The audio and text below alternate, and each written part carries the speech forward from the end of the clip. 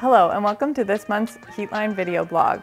Today we are going to talk about where to use a 24 inch and a 42 inch Arctic Vent HT.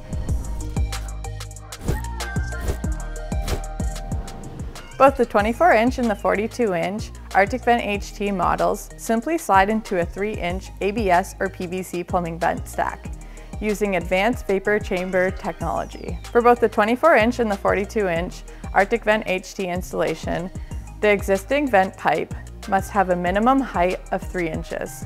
When installing the Arctic Vent HT, you have to ensure that there are no blockages or fittings within the existing vent pipe. However, the main difference is with regards to their lengths. With the 24 inch Arctic Vent HT, you have to ensure that there are no blockages or fittings within the first 26 inches. However, with the 42 inch model, you have to ensure that there are no blockages or fittings within the first 44 inches of the vent pipe. The greater the length of the Arctic Vent HT inserted below the roof line results in the greater the performance. Therefore, Heatline recommends using the Arctic Vent HT 42 inch model. Heatline recommends only using the Arctic Vent HT 24 inch model when there is not enough room in your attic for a straight run installation. Arctic Vent HT prevents ice buildup while requiring no power, has a zero carbon footprint, and easily installs within minutes.